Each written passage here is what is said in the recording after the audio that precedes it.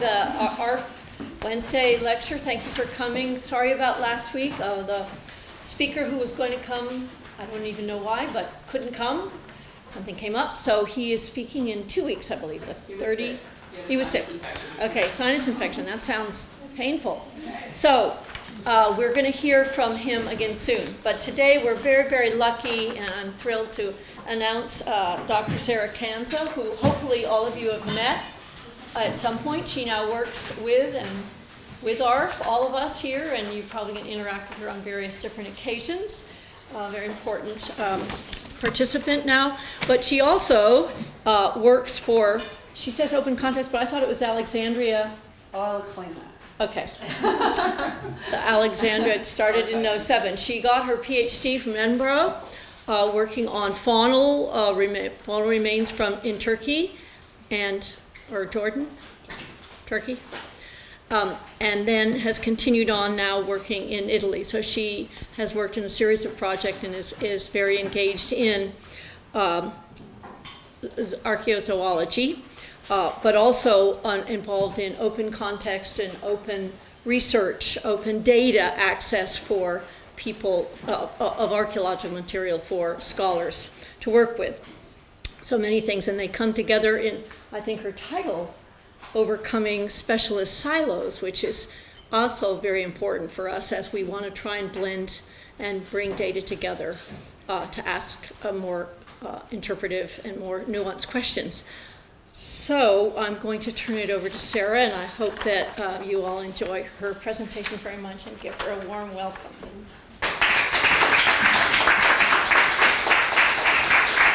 Thank you. Thank you, Christine. Um, thanks for having me. so um, yeah, I'll just explain what um, I am now half-time at ARF, and I also run a nonprofit organization um, half-time, which is called the Alexandria Archive Institute, which was founded in uh, 2001.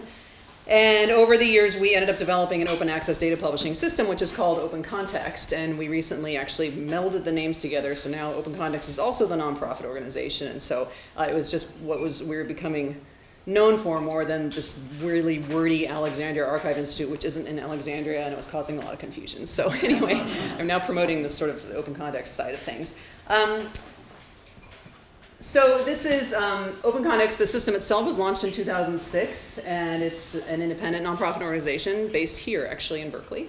And um, we originally got funding from the Hewlett Foundation to um, demonstrate how one might bring together data on the web. And this was back in 2003 when like Google was even just starting to become a thing. And so um, it was really early on and Hewlett was funding open educational resources and it was just, you know, whatever by luck, we ended up going to them and they were like, this is something that we would like to see done and um, we'd like to see what you can do in terms of for bringing archaeological data together. Um, we had both, so we, I'm talking, Eric Kansa, who's my husband, is the co-founder of this of this effort, and we've worked together now for 15 years on this. Um, we both got PhDs in anthropology and archaeology, and um, had spent a lot of time, as you all have and will be doing, um, collecting lots and lots of data to analyze for our dissertation research. And we were both really frustrated that at the end, most of that never saw the light of day. It got sort of summarized or whatever, but we were never able to share it. And um, being fresh out of grad school, we were like, maybe we should try to do something about this. And that's where the idea, the idea started for this open context thing that then was launched a few years later with help from Hewlett. Um, fortunately, we're now seeing increasing attention paid to sort of data archiving. Um, and so these efforts are getting supported more by different granting agencies. So we've expanded our support. Um, we're mostly grant funded.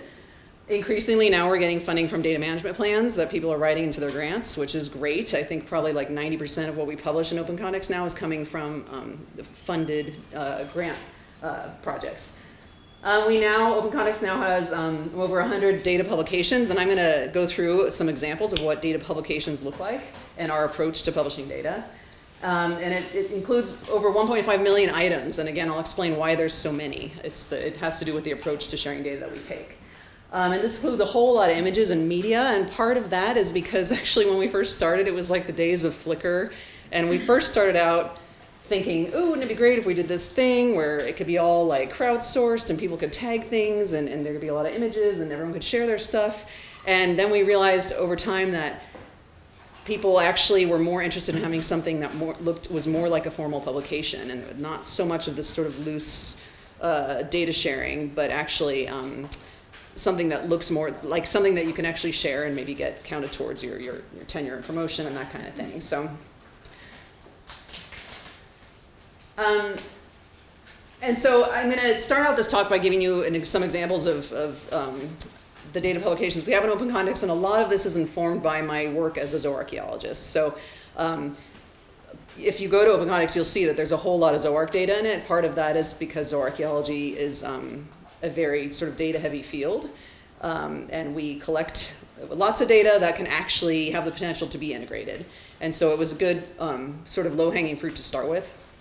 But it's also because I had a lot of connections in that area from having worked in zooarchaeology. And so um, I'm going to talk about what we've learned about data publishing from zooarchaeology, but then I'm also going to move on to talk about some zooarchaeological studies that have informed our understanding of data reuse um, after the data is published. Um, so just really briefly about open context. Again, it's been developed iteratively over 10 years, so we didn't build something that was static. It's something that we're trying to improve as we get feedback from people um, over the years. It, um, we really focus on linking out, so we try to link to other systems that are data sharing as well, because we realize that we can't do everything. So we're um, working on, you know, doing our part well, and then linking across to other systems that are approaching data sharing in a different way, so we can together start um, sharing data across the web. Um, everything it's built in all open um, open code. All the data is open, so we we um, are careful about making sure that people can actually share the data that they're sharing. We can't do everything, so we are um, sort of picky about that, about what we publish, to clear it with everyone um, that it's okay that it's open access. Um, and we are back in 20, I think 2011 and 2012, the NSF and then the NEH, the NSF Archaeology and NEH uh, Office of Digital Humanities they both now list open, con open context as one of the suggested places that people might go to to, to fulfill their grant data management requirement. Um, we have actually, we archive with the California Digital Library here. Um, and then elsewhere across the world, we have mirroring at the German Archaeological Institute and other places in order to keep the data safe. And over the past few years, we've received um, a few awards in recognition of this work, and so this is this stuff is really starting to be sort of recognized more as um, important in our field. So we got a digital curation award actually for a paper that we gave about some of this work, and the AIA gave us their um, outstanding work in or outstanding contributions to digital archaeology award in 2016. And in 2013, actually, the um, Obama White House the good White House, right, um, recognized uh, Eric Kansa for his work in um, as a champion of change in open science and had him go out there and um, talk, which was pretty awesome. We didn't get to meet President Obama, unfortunately. So um, obviously, so open context is involved with data, and data is a hot topic, and it's a subject of lots of investment in um, the worlds of government, business, and big science. And The Economist even recently said that it's um, the most important resource in the world now. But today I'm going to talk about how data fits rather awkwardly in our day-to-day practices in archaeology. I'll give a few overview about why data is often hard for us to deal with, and how with open context we're exploring ways to make data less awkward and more effective for archaeology. And then I'm also going to discuss my own work with zooarchaeology and coping with how to effectively share specialist data. So I'm going to discuss um, two main sides to this, the challenges associated with motivating good practices among data creators, and then the related challenges in encouraging data to be reused. So we're all familiar with the phrase publish or perish. Um, academic researchers are obviously under a lot of pressure to publish in the right venues with the right kind of impact. And the kinds of publications that count for getting a job um, from promotion for tenure are all very limited. Of course, this leads to some per perverse incentives in archaeology. We're rewarded for certain kinds of publications, but these kinds of publications typically, typically present only a very tiny portion of the research documentation that we create. Since archaeological research, and especially excavation, can be destructive, we need to find ways to motivate our peers to be more comprehensive in sharing their research results. So motivating data sharing is important is an important issue for cultural heritage um, stewardship. This isn't just a problem in archaeology. Lots of other sciences have trouble motivating more comprehensive data sharing. In response to the Obama administration, um, in response, the Obama administration began requiring grant seekers to provide data management plans, as you, as you all know. This was a good first step, but it's not enough. Um, Data management plans often don't get much attention, perhaps increasingly so.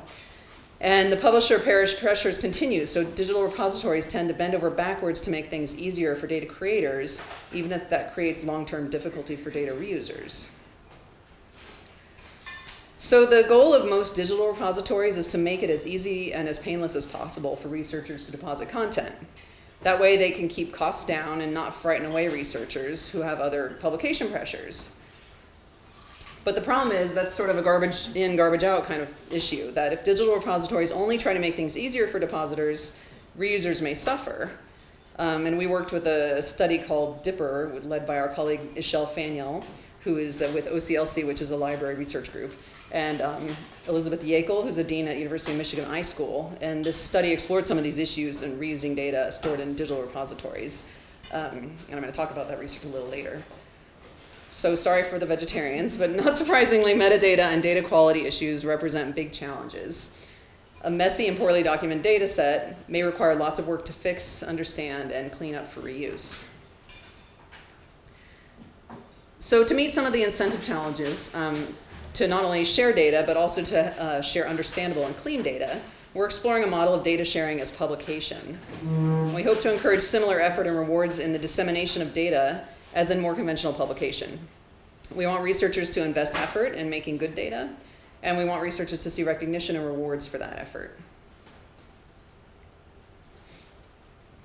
So this shows our sort of elaborated open context data publishing workflow where we have added these areas of documentation, review and editing, and annotation. And so we work with people's data sets to actually make sure that they are um, cleaned up and that they make sense and that they're um, sort of they're annotated with things that can link them out to other data on the web to make them more useful for reusers.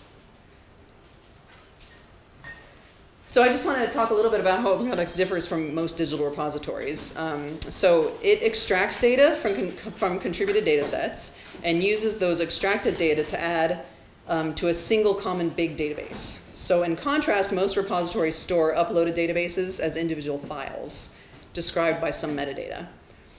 So there are, there are advantages and disadvantages to, the, disadvantages to these two approaches. Um, open context approach is much more expensive and time consuming because we have lots, we have to put lots of effort into da cleaning data, extracting data, and fixing problems in the data so it can be published online. In contrast, most um, repositories are more focused on metadata rather than on the content of the files. So in most repositories, in order to see what's inside a data set, you have to download the data set and open it up with the right software. However, because Open Context extracts data into a common big database, we do overall reduce some problems with complexity. Each contributed data set can be searched and queried through a common set of software tools and services, so you don't have to build a new system for each database. So I should also note that Open Context um, only has a common system of organizing data. Um, it, um, it, relate, it retains the data author's own system description so that each data set can have its own typology and descriptive information, et cetera. And so this is kind of initially more expensive because it um, puts a lot of work on the ingest, but in the end, it, it is cheaper because reusers aren't confused and not able to use a data set and they don't have to do all that kind of cleanup on the other end.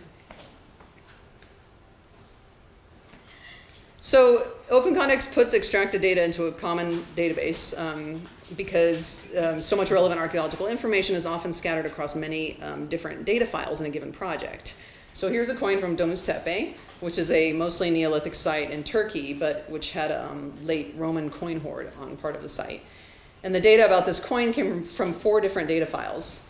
There was a relational database that um, stored the context information. There was a spreadsheet that stored the photo log. There was another relational database that stored thousands of small finds records that this was part of. And then there was another spreadsheet created by a numismatist with um, more specialized descriptions of the, of the coin. So basically, the complete record of this coin was scattered across many data files. And Open Context Publishing Workflow brought all of this scattered information together into a more cohesive whole which simplifies access and analysis. Rather than in a traditional archive, you'd have to go and download all four of those different things, find the coin across all those four different things, and piece it together that way. So it simplifies the, the research process in that way. So if you want to read more about these sort of comparisons, there's this um, somewhat dated article but from 2015, which is really clearly well written um, by Beth Sheehan that um, compares um, in this case, TDAR and Open Context, but it's sort of a more generalized, um, more traditional archive with the Open Context approach. Um, so basically, in this data sharing is publishing um, setup, we have tried to make it like a publisher where we have editors and then we have an editorial board of, of experts who can review the different data sets to, for consistency and quality um, and that kind of thing. So we, we do go through a peer review process that, that makes sure that the data sets are, are sound. Um, and just a word on intellectual property. Um, you typically use data in somewhat different ways than you use text um, that you read. One important use of data is to combine different data sets from different sources. But in order to do that, you need to have legal permissions. Furthermore, open licensing simplifies preservation of data. With copyright permissions granted by open licenses, we can, and we do, archive data with multiple repositories in the US and overseas. Um, so all data publications in open context have um, open copyright licenses, which is usually the Creative Commons Attribution License, which essentially gives explicit legal permission to use the data and media as long as you cite the creator. And we fully recognize that not all archaeological content should be published this way. There can be ethical problems with open licenses, especially in context with histories of colonialism.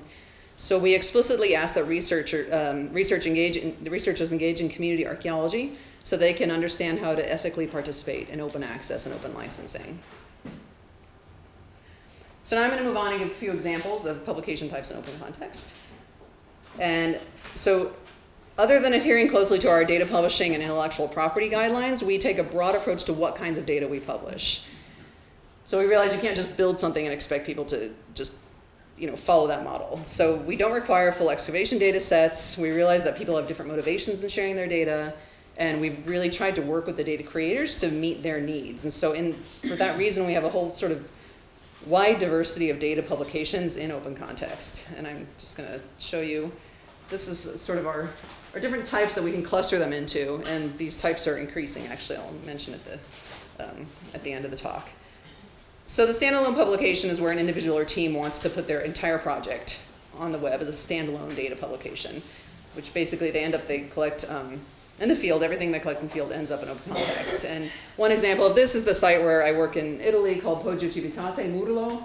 And um, they have, as you can see here, they've got all these different types of finds that they that they're over time putting into into open context and linking together. This is from 52 years of excavation, so it includes old field notes and things that were just on paper that they've over the years um, scanned and entered digitally into their um, in-field database and then are putting in open context. Um, this is an example of a record of an ivory, an ivory object from Poggio Civitate, and it's linked to images, mapping data, context data, authorship, etc. So Open Context provides that common infrastructure for publishing and linking all of these different sorts of content within the project. Um, so on the bigger data side of things, we also have several projects that are multi-year efforts at integrating data across broad spatial or temporal ranges. Um, and so just an example of this is the DINAA project, which is the Digital Index of North American Archaeology. And this is an ongoing, really big project with, um, it's funded by the NSF, and it's with colleagues at University of Tennessee, Knoxville, Dave Anderson, and Josh Wells, who's at Indiana University, South Bend. And um, we're basically working with the SHPOs, with the State Historic Preservation Offices, to get the site file data from every state put into this common infrastructure so that you can search across state boundaries and you can do sort of this bigger picture research across the US rather than having to go state to state to state to find that information. The idea is that um, everything is, um, the site locations are all approximated on a grid, a 16 kilometer by 16 kilometer grid, so there's no site uh, locations released. They are linked through their Smithsonian trinomial number for site ID.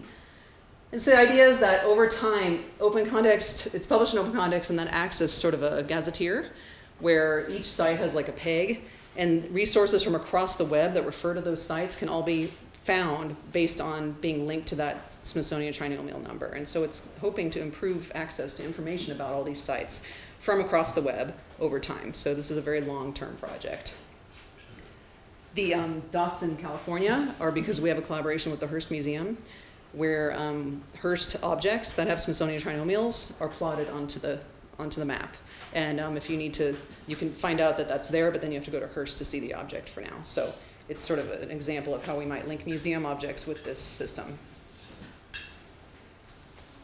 And this, this DINAA data has actually already been used in some um, interesting research where they used, um, uh, there was an exploration of sea level rise impacts um, on coastal archaeological sites. And it got a lot of press because I think very few people realize just how many archaeological sites there are in the U.S. And um, this is, you know, tens of thousands of sites that are threatened by rising sea levels over time. So then we have, increasingly, we have people who are coming to us to um, help fulfill their, their grant data management plans. And this is one example of a PhD student at Harvard, Max Price, who had research on um, cementum um, analysis of pig teeth. And um, he just shared that data that was related to his PhD research. And so what's nice um, is you get your citation, which has a DOI for the project, but then every single item in the project has its own citation too. So every single pig tooth, every single fragment has its own web page that has a unique citation. So you can point specifically back to this item if you want to talk about it in another publication. You don't have to say, go to this archive, open the spreadsheet, look for bone number, whatever, you know, so it's, it's a much more, it's much more, more disambiguated way of doing research. Also, what's nice is each project in Open Context can have its own um, customized banner and look, so it kind of looks like your own web page. So Max um, actually had a colleague, uh, I think in Turkey, who did these watercolors, and he added those as his banner, which I thought was kind of nice. It adds a little bit of your own personal creativity to the site, without being quite so um, clinical. This is uh, Lizzie Wright, who is in, based in the UK, and she did um, a biometrical database of, of aurochs and domestic cattle measurements um, for her PhD. And then what's fun is that you can search all of hers, but then you can also get all cattle measurements and, and wild cattle measurements from wherever else in open context there's actually data from. And ideally from elsewhere on the web too, eventually. We also support archival research. Um, this is showing a bunch of um, drawings, excavation, and conservation data about the Sphinx. Um, the monument is changing all the time. With, it has challenges with tourism and pollution. Um, so this is a good way to help understand how the monument is changing over time. Um, this is part of ongoing publishing work that we're doing with Mark Lehner's group on publishing huge amounts of excavation data from the Giza Plateau. And the next data set is actually a paleobotany data set um, from excavation of one of the more domestic contexts at Giza by Claire Malleson. Um, so then we also um, have people who want to publish a data set that contains data that is related to a um, publication of theirs. So basically a smaller data set that they're um, linking to from, from a publication. And so this is an example of um, a publication that was in Antiquity that um, put a link to the, the data set that was published in open context. And so readers can go back and they can look at the primary data set and then they can reproduce the, the claims made in the paper rather than just sharing like a summary data table. This is um, a larger volume that does a similar thing, but it's more like, a, uh, like an edited volume. So basically they have a print volume about archaeology of Mesoamerican animals and several of the chapters had data that they wanted to share. So in Open Context, we set it up also like an edited volume. There's a main page and then there's subpages for all the chapters that have their data sets that are, that are related to chapters in the print volume. And then finally, we have um, supplement, um, supplementing monographs. And so when there's just too much data to put in print, um, this happened for the Petra Great Temple excavations, which just had a ton of images and, and data that couldn't make it into the, the um, monograph, the printed monograph. And so um, what we did was we published all the data in open and then um, the data creator martha Joukowsky she asked for um, links to certain things that she wanted to refer to in the publication and so we gave her a huge list of all these links and she's now linked up her, her print publication to individual items like these nice these nice drawings and stuff that couldn't necessarily make it all into the volume. So another category is emerging actually where people are wanting to make these sort of um, community created um, databases where um, they sort of set up a page and then ask people to contribute certain things so that they can build out their data with their with their community. So, for example, we have this osteometric database of South American camelids. We have a new one now on Chinese petrography, which actually has instructions in English and Chinese, and people can download a spreadsheet that um, has it in both, and then you and then you enter your information and you submit it back in. So this is something that um, we're really interested to see how this pans out. It takes a lot longer because you're asking for lots and lots of people to share their data, and it takes a long time for people to get their data organized. Um, so for now, they just wait and uh, and get promoted in this way, and share things like downloadable spreadsheets for people to do data entry. Um, other ways that we've tried to address the need out there is by um, offering um, to do development when people can actually when people need something special. So, for instance, this project had um, images that they wanted zoomable. They wanted to be zoomable because they have a high, really high resolution and they have details that you can't see just in the, in the in the one image. And so they actually came up with extra funding to so that Eric could build in a zoomable feature, and now that's there, and all other projects can use it because it's part of Open Context now. Um, and we also responded to a need for 3D models, and so um, another project um, is doing a sort of a test to see how we might we might link a print publication with the 3D models online. And they also came up with funding to build in this open source um, rendering for 3D, which allows you to change the lighting and do measurements and everything right there in Open Context. So you don't have to download anything special to be able to look at it. So, and that's nice too, again, because other projects can use it now that it's built. So we're really trying to respond to the, the need out there, and it makes it very diverse, but also um, pretty dynamic. All right, so now I'm going to move on to the Zooarch part. Um, so far so far I've focused on the data creators and how we're trying to use a model of data sharing as publishing to encourage data creators to share more and better data. But for publishing to have an impact, the data needs to see actual reuse by a wider community. So now I'm going to look at the challenges we face in reusing archaeological data.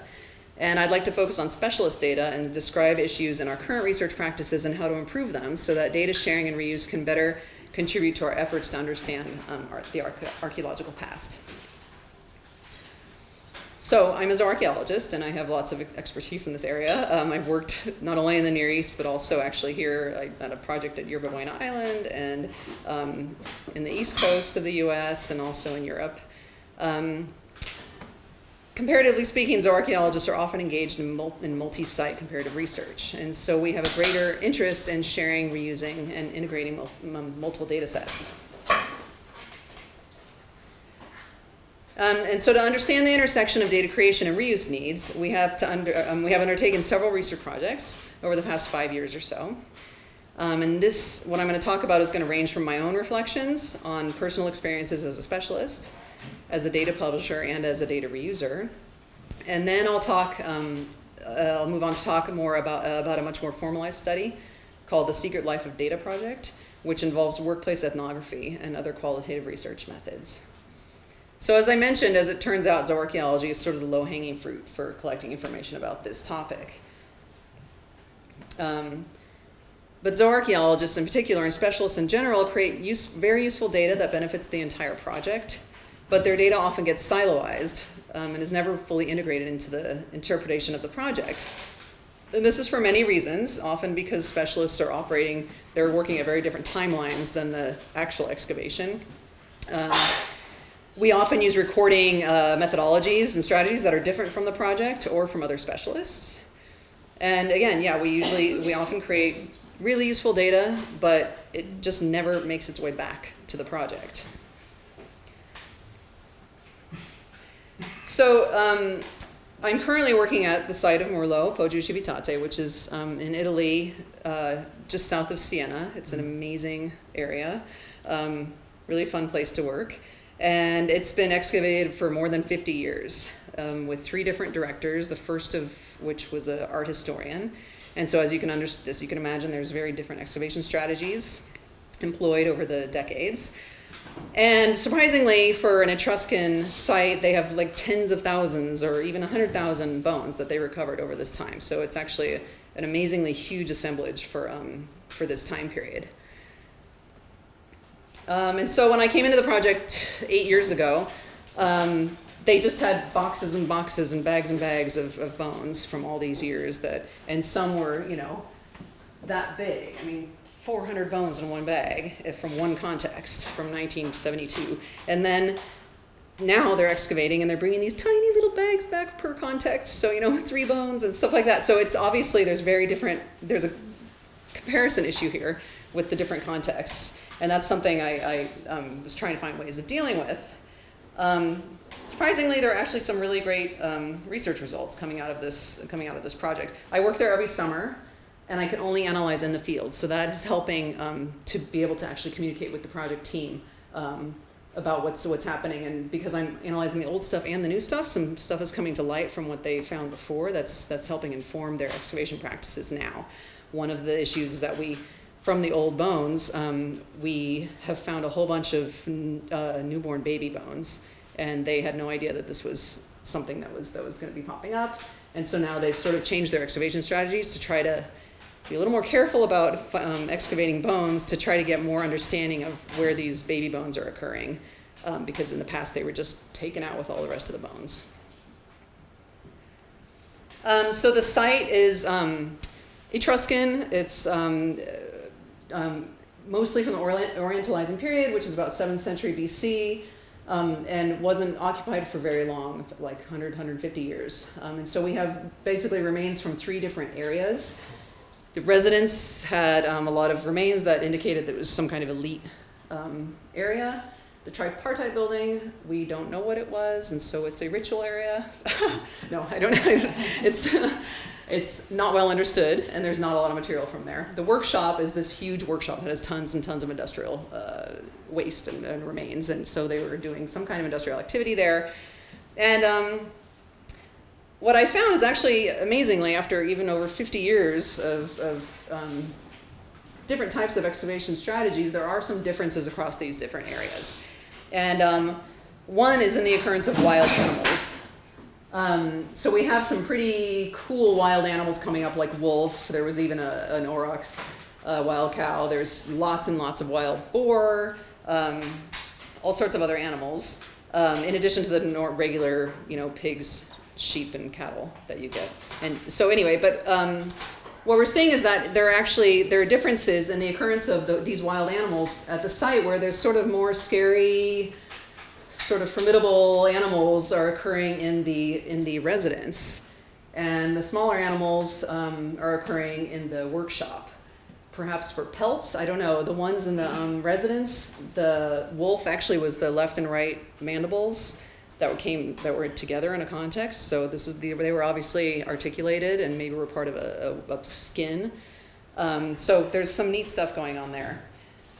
Um, I think even more remarkable is that early on I started noticing that there seemed to be a, portion in side preference, especially among pigs, that where there was a predominance of uh, right-sided like forelimb bones, especially the ulna, occurring in the residence, the more elite area, and the left-sided predominance in the workshop. And this is something that I thought was pretty exciting because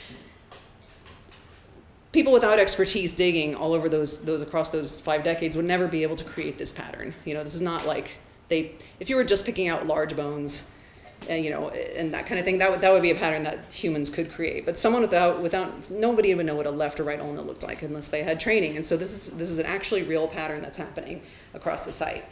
Um, excitingly, now that we can map it, because there's enough data in open context, so this is the residence, and this is the workshop. And um, with this, we're looking now at the right ulna. So you can see that there are right ulnas in both areas. Um, but when you look at the left, you see that there is almost all the lefts are occurring in the workshop area. And this is about 178, yeah, data records. So it's a pretty big sample. Um, we also see some differences in rights and lefts from, with the wild animals occurring in these two areas. Same thing, with more lefts in the workshop and more rights in the residence. And so whether this is something, you know, this is, were they doing carcass distribution, you know, whether was there a market? Um, clearly there was some selection of the right side that was going into the residence area. For what reason? I can't say, but um, this wasn't just, this wasn't just random you know, distribution of, of carcasses across the site. They were halved, and then one half was going one place, and the other half was going the other place. So there was prior analysis on this assemblage. This is Mike MacKinnon, who is a um, Canadian archaeologist who's worked all over Italy and elsewhere. And um, he had come to Murlo um, early on, uh, not early on, early on in my time, a few years before I did, and he had looked at just maybe a thousand bones really quickly just to give him an idea of what they had. And so I thought it would be really nice to be able to incorporate his analysis into this because it's nicer to have, you know, two, two analysts I think are better than just one because we can provide some checks and balances to each other. So um, I contacted him and he was able to actually provide his um, data to me, which was in like written little uh, tables and he transcribed them for me or he um, digitized them and sent them. So here's just an example of our differences. This is one context. And we could see from comparing our, our uh, identifications, I, I got the bones and I, I identified them as well. And so he was over identifying cattle. Um, and I was putting them more into large mammal. We both had dog, we both had tortoise, we both had bird. He had more pigs than I did, and then um, he put sheep and goat into sheep goat, and I actually split out my sheep. So these are not huge differences. Um, what it showed is that that we have an over overrepresentation of cattle and pigs, and I think one of the things that um, and an underrepresentation of deer, and it's because Mike wasn't at the site for very long. Because I've been there eight years, I now understand that there's these really large red deer at the site. But it took time, like looking at the assemblage, to see this, and I just clustered them, into large mammal, whereas he put them in cattle. So it's just something about once you have more time and expertise with the collection, you start to see these kinds of differences. But for we did a joint publication on it, and it was really good for us to know these differences, in particular, like. Um, he was counting loose teeth. This is why he had more pigs than I did. He counted every single loose tooth as a separate specimen, whereas I put more time into trying to put jaws back together. And there were lots of things that belonged to the same jaw that clearly came from one animal. But again, it's just that the expedience that he was there for a short time and he just wanted to give them a little overview. So, but this is good to know when we're putting data together. Um, more recently, we sort of formalized this with um, Hannah Lau, who um, worked on the same assemblage that I did in Turkey. So for 15 years, I was involved in, involved in an excavation in Turkey called Domuztepe, which is in southeastern uh, Turkey. And um, it's a late Neolithic Halaf site. And I analyzed probably more than 10,000 bones from the site. And then she came in, there were a lot more left. She wanted to do her PhD, and so she analyzed another 10,000 bones. And I wanted her to be able to use my data so that she could have a larger um, assemblage to work with. But we had this issue again of inter-analyst variation and how do you actually combined data analyzed by two different people. And so she undertook a study where um, she uh, found some bones that neither of us had analyzed from this site, and she brought me down to LA, and we both analyzed the same um, assemblage, and then we compared our results. And um, in the end, we realized that um, uh, we had about a 6% error rate where we actually identified things totally differently from each other. And then about a 20% rate of, of sort of uh, basically, basically uh, the precision of our identifications. So I would be more precise in saying, oh, this is a sheep, and she would say it's a sheep or goat, or, or she would say it's a medium-sized mammal or something like that. So because of her, she had less experience with the, uh, the um, with the zooarchaeology in general. I guess she was being a little more careful about about that, which is fine. Um, so this study highlighted the need to be explicit and transparent in our analysis we um, ended up recommending that projects make time for small inter-analyst studies like this as a way to identify inter-analyst variation in their data. Researchers routinely calibrate their scientific instruments to gauge accuracy and measurement, but we largely don't do that, this in zooarchaeology, um, as we typically don't calibrate our, our identifications of specimens. Um, we also discussed uh, issues of data documentation, and we encourage the writing of a paradata document uh, to accompany a data set which describes in detail the context the analysis, the methods used, and any other information that will help a future user understand that data set better. And this adds more time to our work, but it's critically important for reuse. We kind of see it as like, what if the whole excavation team was abducted by aliens? what would be left? Like, and how would we understand what they collected, the data they collected, and how they were doing their analysis because they're gone? I mean, someday we're all going to be gone and our data will be left. And how will other people use our data? I'm hopefully not abducted by aliens. um, so um, I'm going to skip through this study because I'm running out of time. It sort of said the same type of thing. Just to highlight that, we did a, a study where we produced a paradata document um, with some other colleagues, Levent Atici and Justin Lev-Tov, were using an old data set, uh, like um, an orphan data set that had never been analyzed. We produced a three page document that explains stuff like, um, you know, that we, uh, you can't read this at all. Anyway, that we basically took out certain bones because because of this and that and that reason. We combined these two categories for this and this reason. So we basically justified our lumping and splitting decisions. And, and it took lots and lots of documentation. This is something you could never share in a regular publication. No one would ever know the choices you made. Um, and so it makes your data not reusable. Furthermore, when we um, communicate our data, we usually do it in summary tables. And so no one can use that at all. I mean, there's no way you can go back and, and use any kind of data from that. It's just to present the study being done. So if you could point back to the primary data set and describe how you got to these numbers, it would make for much more reproducible and, and transparent research. Uh, and that study was published, sorry, in the Journal of uh, Archaeological Method and Theory that you can go see. And then we did a, we actually analyzed the data set, the old orphan data set, and came up with some research results. So we also undertook a um, study, which I actually, I think we reported on this in a talk we gave here at ARF a few years ago. Um, that was a large-scale data sharing and integration project that explored the origins of farming, and this was funded by the Encyclopedia of Life and the National Endowment for the Humanities, and we brought a bunch of zooarchaeologists working in Turkey together to try to integrate their data sets and so that we could observe where the challenges were with data integration. And essentially, um, what happened is that um, we had some fields that were really easy to align and then fields that were really hard to align. And the ones that were difficult to align were actually quite surprising. Um, so things like measurements, tooth wear, and fusion data are, are things that, as a zooarchaeologist, you would think would be pretty standardized, that people would collect similar information. But what happened was people, for instance, everyone used the von, Angela von den Driesch's guide to measuring animal bones that was just sort of the standard everyone had over time adopted for um, reporting measurements, but it was in the way that they modeled their data that it became really difficult. Everyone used Excel, nobody used a database. So we all had our spreadsheets modeled differently. And so someone would have, uh, you know, the element listed and then a whole bunch, all von den Driesch's measurement possibilities as field headers, and then they'd plug in the measurements along the way that applied to that bone. Some people would put a field that said measurement one, and then they'd list the name of the measurement, and next to that put the measurement. So those kinds of things are incredibly hard to link up across spreadsheets without like remodeling the entire spreadsheet.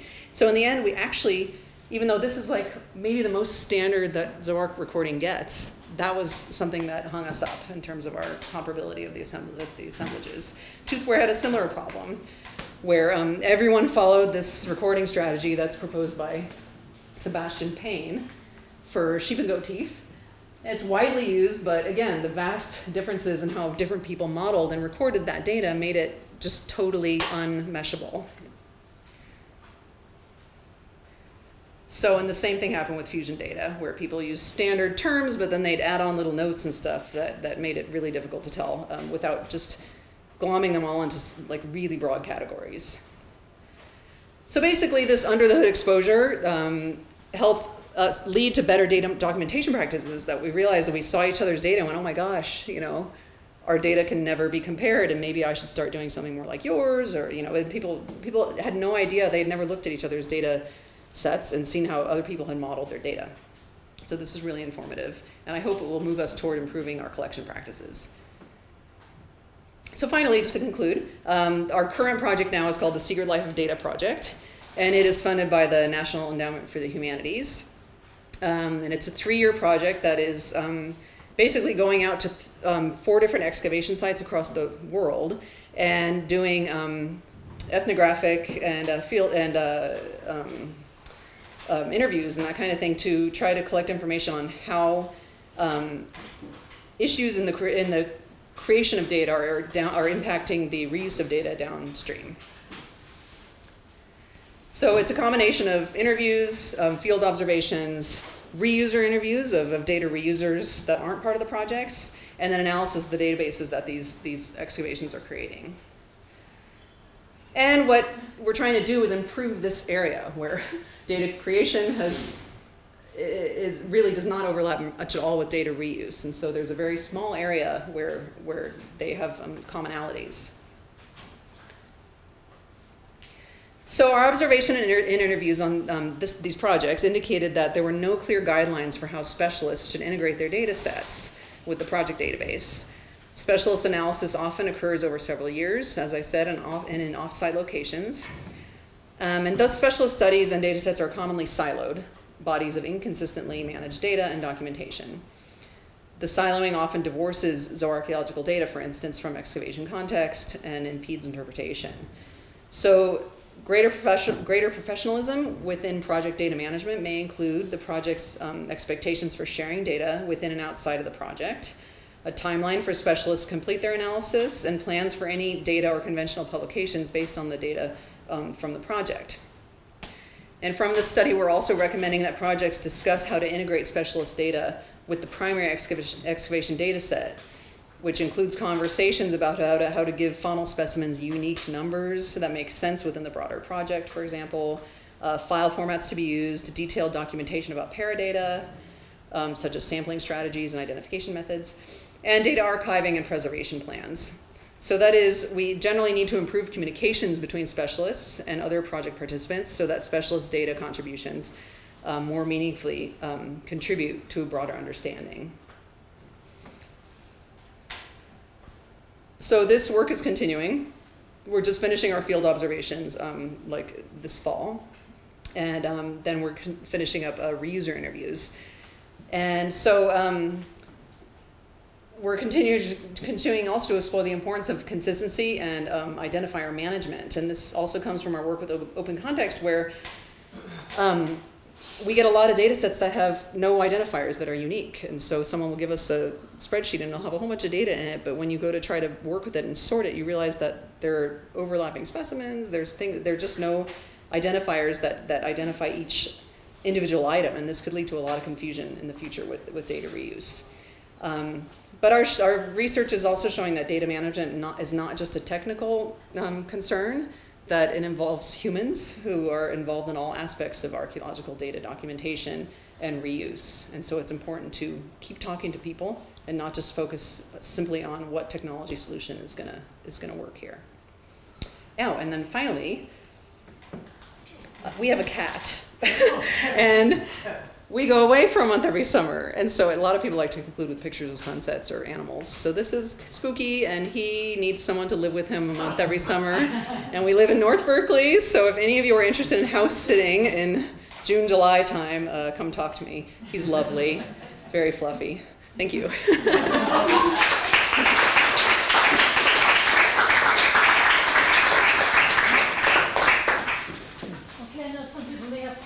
Probably Sorry. five minutes? Two, two minutes.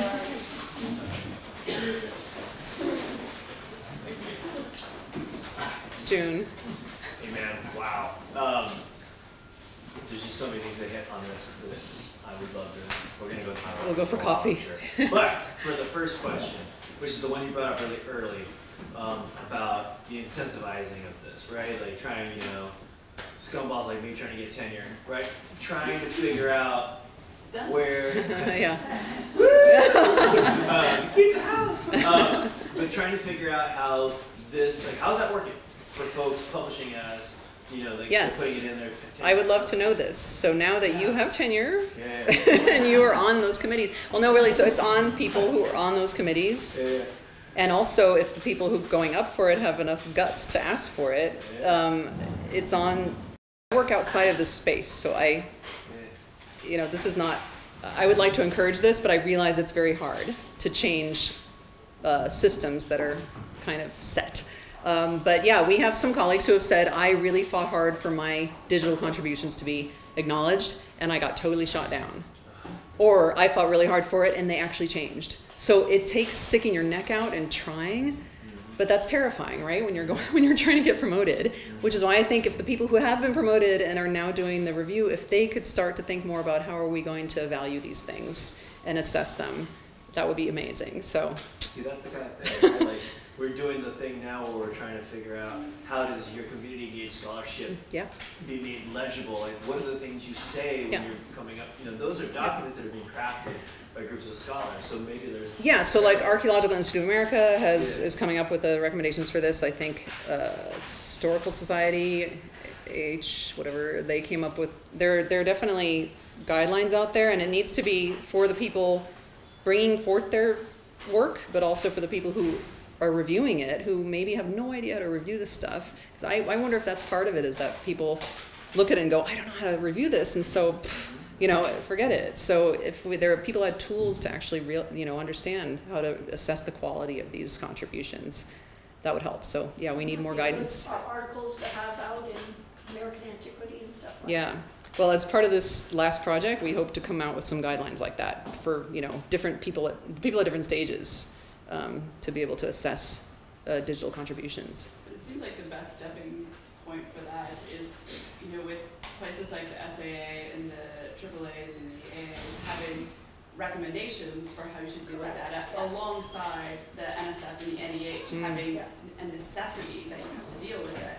I mean, that should be a stepping off point right there for, Exactly. So I agree. our That committees- The SAA should have a intelligence. committee that this gets fed into, so Yep. they're all speaking the same language. so you know, So this this is required so for you to have a grant, and Right. having a grant is part of your tenure package, So then. you need Yeah. to have And also, something, a systematic way to do it, so it's, well, and the people reviewing those grants also need tools for how to review those things. Like I think data management plans, as far as I understand it, and the ones I've seen as a reviewer, are all over the place. You know, and how are you supposed to know how to assess those Right. if you don't have any experience with it?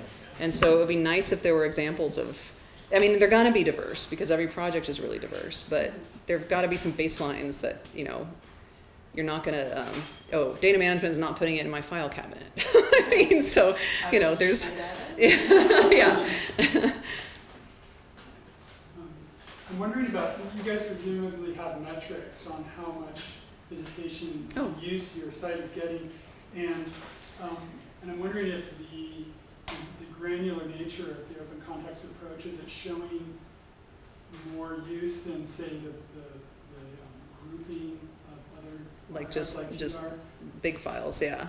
Yeah. Um, so one issue is that we don't track use metrics because we don't want, we want to keep people's, um, people anonymous, their use anonymous. So we are not following users like that. Um, we go through like Google Scholar citations. So if you search for open context in Google Scholar, you can see how many places are actually citing things from open context. But we, I, we haven't looked at it in terms of like individual items or whole projects yet, but that's a good idea to see if, if people are more interested in sort of this granular citation rather than um, projects as a whole. Well, that's the kind of information that can be fed to review committees and Mhm. evaluation committees. If you say, you know, what's, what's happening.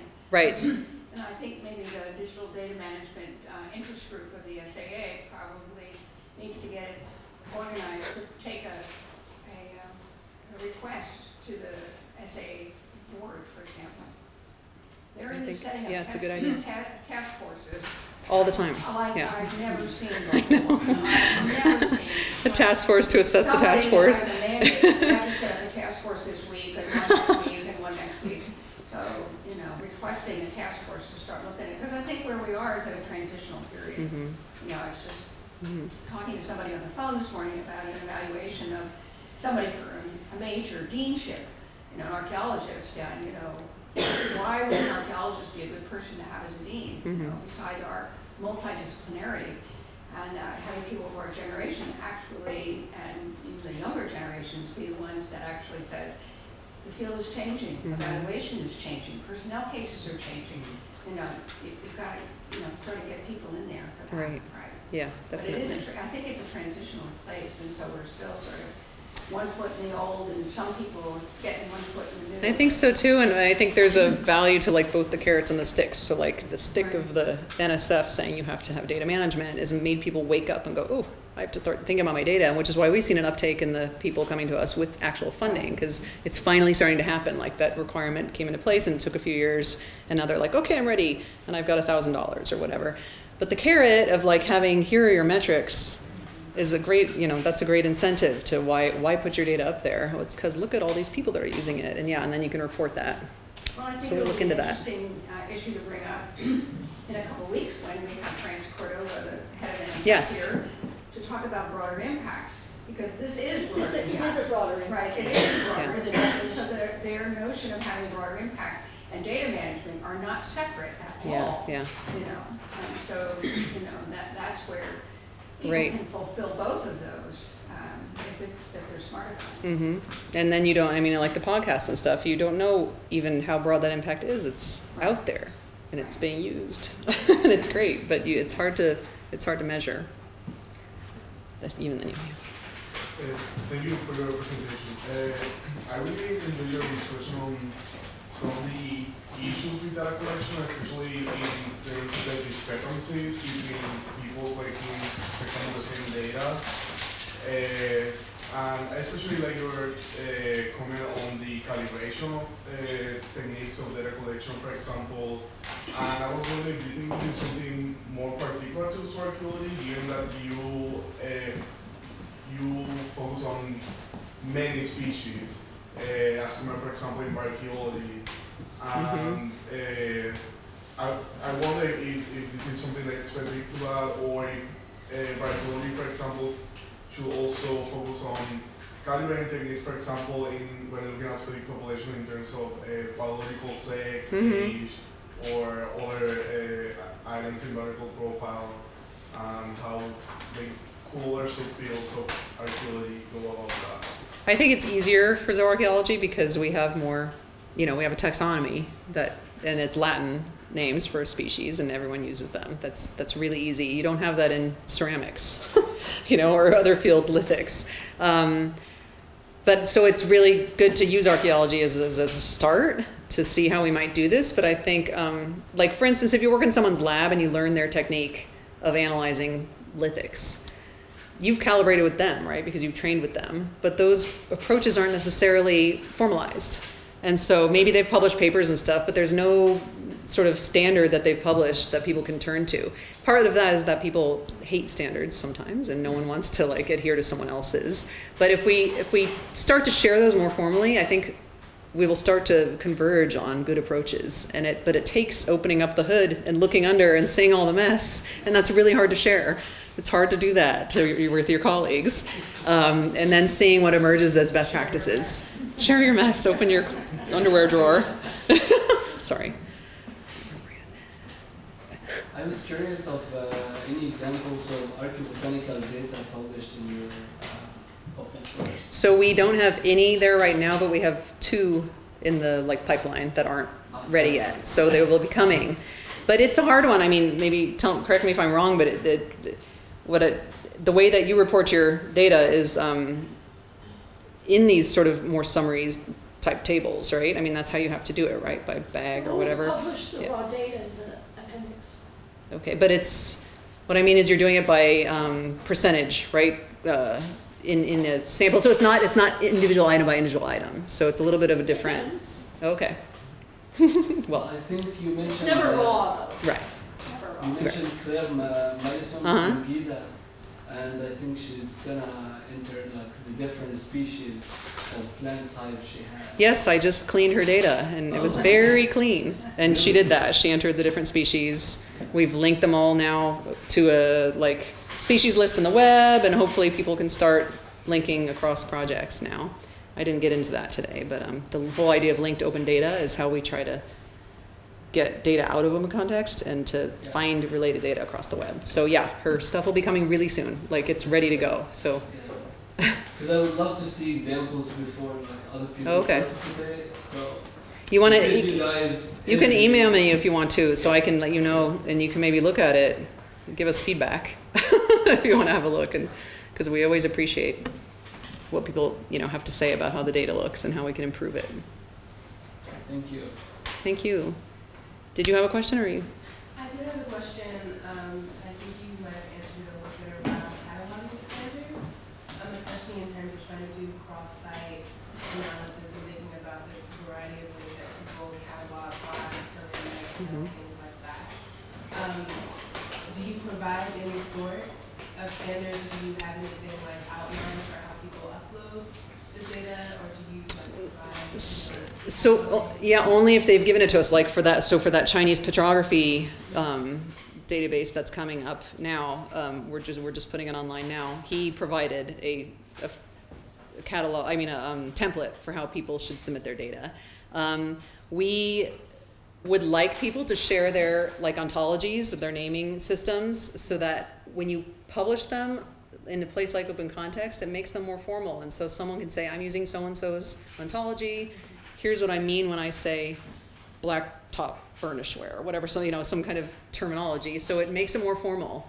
Um, but no, that's coming. That's sort of going to happen as people submit their data. We have one project that is looking at, um, it's Kate Brunson, who's at Harvard, I think. She's looking at Chinese oracle bones. And she is, she's also published her system for zoning the bones. So like a scapula would have all these different zones, and that way she can say exactly where the markings, the burnings, and the drillings and stuff are happening on these oracle bones. And um, she, that's in Chinese and English. And so someone can talk about this marking on zone D and it's this kind of marking. She's given a, a authoritative page that describes that zone and that type of marking, which is really cool because it means she's helping sort of develop the standard that could be used by others. So that's a way that we're hoping that'll happen. But we don't have any library of those things yet, unfortunately. I'm thinking about that, the database that I use is, um, the digital archive, the digital archaeological archive Oh, yeah, yeah, okay. And they're actively working to create those Yeah. sort of standards for material culture analysis. hmm But your point around it being very difficult for people to follow standards, like it's very difficult to have new people come into that space. hmm Or have to recatal, like recatalog. And Right, and that's DAACS approach, right? Is that you re you recatalog. Yeah. So, but for instance, their approach, like we we actually are have some collaborative work going on with them, and we were hoping that you know we could like pull in their approach or whatever, point to it as one of the resources you know that people could use. So, um, yeah, but that's another approach of integrating content that is related across an area that you can kind of draw a line around, right? So, um, but it wouldn't work for all lithic specialists, say, across the world because um, it's too diverse. Anyway, stop. Right. Thanks for Thank staying.